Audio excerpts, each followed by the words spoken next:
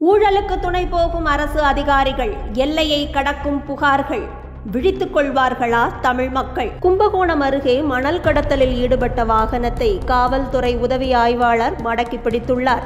ஆனால் கோட்டாட்சியரும் வட்டாட்சியரும் காவல்துறை உதவி ஆய்வாளரை தொலைபேசியில் மிரட்டியிருப்பதாக உரையாடல் ஒன்று பதிவு செய்யப்பட்டுள்ளது.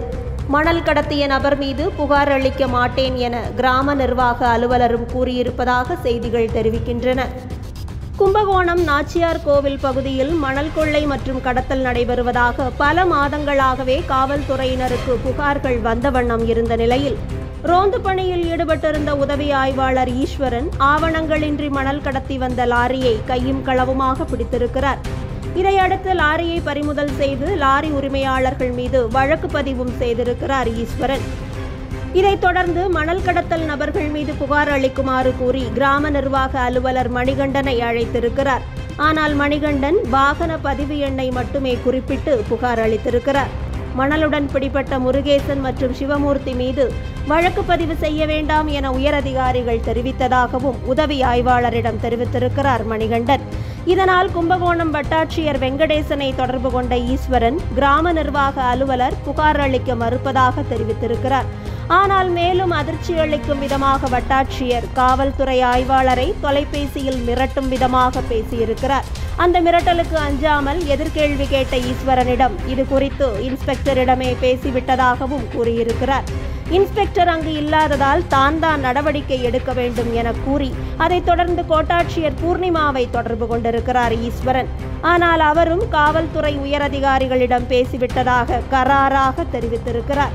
லாரி உரிமையாளர்களிடம் கோட்டாட்சியரும் வட்டாட்சியரும் அதிக அளவில் லஞ்சம் வாங்கி இருப்பதாகவும் இதுபோன்ற அதிகாரிகளால் நேர்மையான காவல்துறையினரும் மன அழுத்தத்திற்கு ஆளாவதாகவும் செய்திகள் தெரிவிக்கின்றன. இதுபோன்றே சேலம் மாவட்டம் பெத்தநாயக்கன் பாளையம் அருகே விவசாயம் செய்து வரும் குமார் என்ற நபர் கடன் மூலமாக டிராக்டர் வாங்குவதற்காக சீலநாயக்கன்பட்டி தாட்கோ அலுவலகத்தில் விண்ணப்பித்திருக்கிறார்.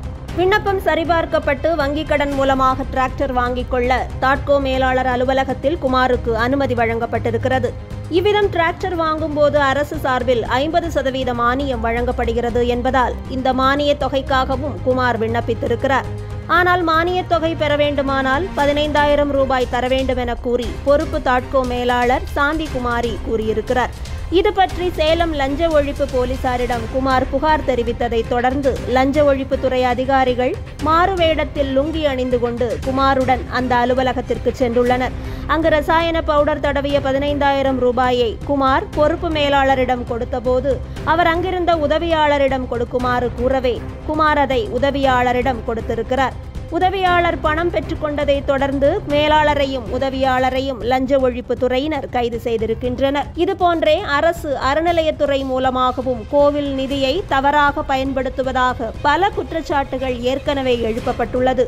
மேலும் கோவில் பணியாளர்களின் தரமான வாழ்விற்கு அரசு பொறுப்பேற்று சரியான ஊதியம் முதலிய சலுகைகளை கோவில் வருமானத்திலிருந்து வழங்க வேண்டும் என ஏற்கனவே நீதிமன்றமும் உத்தரவிட்டுள்ளது. இந்த நிலையில் கோவில் செலவினங்களை குறைப்பதாக கூறிக்கொண்டு கோவில் பணியாளர்களின் அடிப்படை சம்பளத்தை பதினைந்தாயிரமாக நிர்ணயித்து பிடித்தம் செய்து கொள்ள வேண்டும் எனவும் அதற்கு மேல் நிர்ணயம் செய்தால் அந்த கோவில் செயல் அலுவலரை அதற்கு பொறுப்பு என தணிக்கை அதிகாரிகள் கூறியதை செயல்படுத்த கமிஷனர் முரளிதரன் உத்தரவிட்டிருக்கிறார். ஆனால் அடிப்படை ஊதியத்தை கணக்கிட்டு ஒவ்வொரு ஆண்டும் பணியாளர்களும் தங்களது பங்களிப்பு தொகையை செலுத்தி வரும் சூழலில் அனைத்து பணியாளர்களுக்கும் அவர்கள் சீனியர்களாக இருந்தாலும் கூட அடிப்படை ஊதியம் பதினைந்தாயிரம் தான் என நிர்ணயம் செய்திருப்பதால் பணி ஓய்வு பெறும்போது ஐந்து லட்சம் ரூபாய் வரை இழப்பு ஏற்படுவதோடு ஓய்வூதிய தொகையும் குறைந்துவிடும் என பணியாளர்கள் வேதனை தெரிவித்திருக்கின்றனர். லஞ்சம் ஊழல் கடத்தல் கொலை கொள்ளை மது குடித்ததால் ஏற்படும் மரணங்கள் என செய்திகள் வெளிவராத நாட்களே இல்லை என ஆன பிறகும் இதை பற்றி எந்த கருத்தும் தெரிவிக்காமல் ஈராண்டு சாதனைகளை போலியாக பட்டியலிட்டுக் கொண்டு தெரிவதோடு அதை விமர்சனம் செய்பவர்களை தேவையற்ற கைது மூலமாக மிரட்டி பார்க்கும் செயலை தொடர்ந்து வருகிறது. ஆளும் அரசு தனது பொறுப்பில் இருக்கும் காவல்துறையை சேர்ந்த உதவி ஆய்வாளரை மிரட்டிய அதிகாரிகள் மீது முதல்வர் நடவடிக்கை ஏதும் எடுக்கப் போவதில்லை என்பதும் நாடறிந்த உண்மை. அரசியல் லாபங்களுக்காக அரசியல்வாதிகளும் கொத்தடிமைகளும் இதுபோன்ற செயல்களை ஆதரித்து செய்திகள் வெளியிட்டாலும் சாதாரண பொதுமக்கள் கூட உண்மைகளை உணராமல் மற்ற நடுநிலை ஊடக செய்திகளை படிக்க வேண்டும் என்ற புரிதல் கூட இல்லாமல் குடும்ப தொலைக்காட்சி செய்திகளை மட்டுமே பார்த்து திராவிட கும்பலுக்கு விசிறி வீசும் நிலைமை மாறும் நாளில் மட்டுமே தமிழகம் வளர்ச்சியை நோக்கி நகரத்துவங்கும் என்பதே நிதர்சனமான உண்மை. வணக்கம். ஜெய்ஹிந்த்.